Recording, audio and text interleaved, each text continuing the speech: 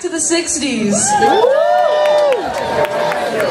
We're about to time travel to Soul Train.